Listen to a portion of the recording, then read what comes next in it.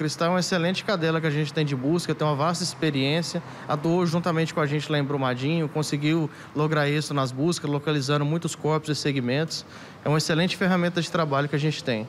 Tenente, falando sobre esse trabalho que a gente vem acompanhando já há 13 dias, entramos agora no 13º dia de buscas ao assassino Lázaro, um trabalho muito difícil, inclusive coloque imagens do local para mim, por favor, imagens lá da região de Cocalzinho, para a gente mostrar a região de difícil acesso, Tenente, uma área muito é, com mata fechada, vegetação, olha aí, ó, de difícil acesso para os policiais que estão atuando. E como é que funciona o trabalho num local como esse? Porque a gente fica acompanhando de longe, nosso telespectador que acompanha as notícias de casa pelo jornalismo da Record, e, e às vezes a, a, a, a gente não tem a noção de como é essa região, uma região de difícil acesso e, e por mais que tenhamos aí cerca de 200, 300 policiais nas buscas, não é fácil encontrar alguém que tenha experiência, que tenha vivência numa área de mata como essa, né?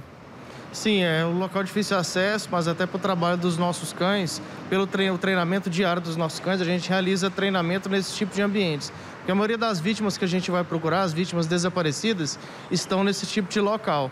Então, nossos cães já estão adaptados quanto à temperatura, quanto à vegetação, quanto ao relevo desse tipo de terreno. E por isso a vantagem de estar utilizando o cão como uma ferramenta de trabalho para otimizar essas buscas. Que o cão consegue sair à frente da equipe, fazendo a varredura através do cone de odor, que ele vai farejando o cheiro da vítima que vem sendo levado pelo vento, ele consegue captar o ponto mais forte de odor que tem naquele local, consegue identificar um indício positivo para a equipe, e com isso a equipe consegue progredir mais fácil no terreno.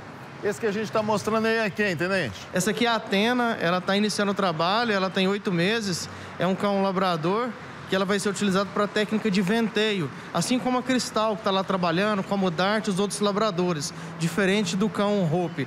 Então, o cão de venteio é esse cão que a gente vai soltar, ele vai trabalhar solto, ele vai à frente do seu condutor, ele vai captando o odor de qualquer pessoa que esteja à frente naquele terreno, pelo vento, o vento vai transmitindo aquele odor para ele e ele faz, ele capta o cheiro como se fosse um cone mesmo. Lá no vértice daquele cone, que vai ser o ponto mais forte do odor, ele consegue direcionar o bombeiro, a equipe de trabalho até aquele ponto.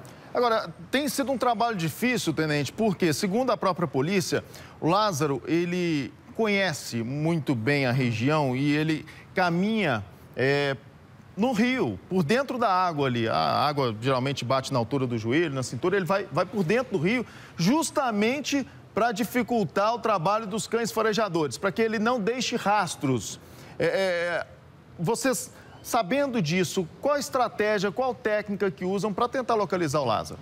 Então, como eu falei, como eles trabalham pelo cone de odor, então mesmo ele está passando pelo meio líquido, no momento que ele está deslocando, aquele vento que vai passando pelo corpo da pessoa, vai jogando aquelas células mortas que a gente tem no corpo, essas células vão caindo o tempo inteiro no chão, e esse vento vai jogando aquele odor, mesmo ele passeando, trafegando ali pela água, esse odor vai chegar até nas narinas do cão e o cão vai conseguir direcionar o rumo que ele está percorrendo.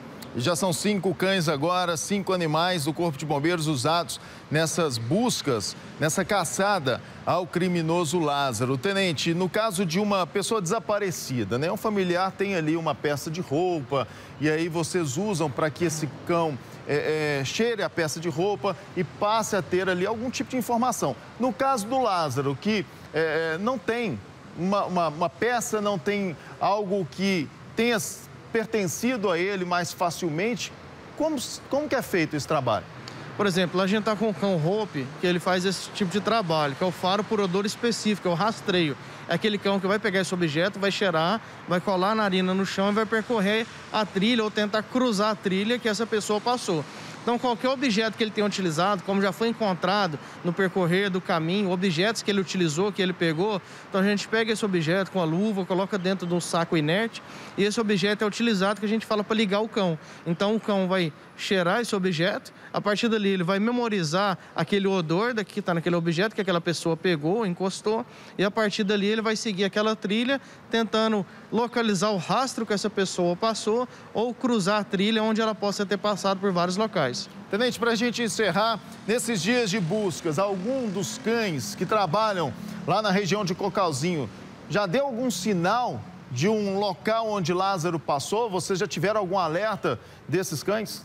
Sim, os cães já positivaram alguns pontos que ele passou, já foram pontos frios, né? Mas localizou alguns pontos ali, então a partir dali consegue progredir nas buscas com essa marcação positiva dos cães que em determinados locais que ele esteve.